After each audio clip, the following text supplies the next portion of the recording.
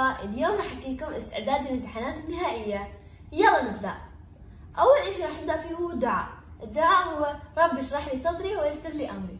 أنا بحكي قبل ما نبدأ بالدراسة وكمان برضه قبل ما نبدأ بالاختبارات. بالاختبار. المهم ثاني إشي وضع جدول. طبعا زي ما تشوفوا هذا الجدول أنا عملته.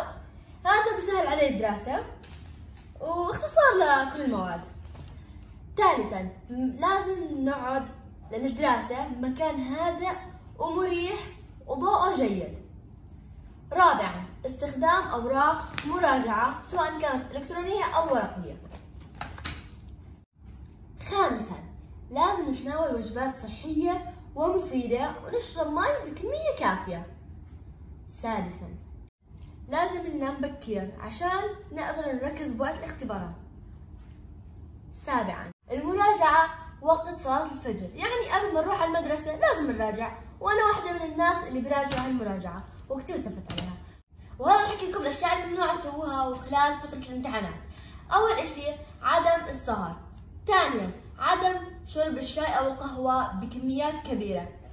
ثالثا عدم استخدام الأجهزة الإلكترونية خلال فترة الامتحانات بفترة طويلة.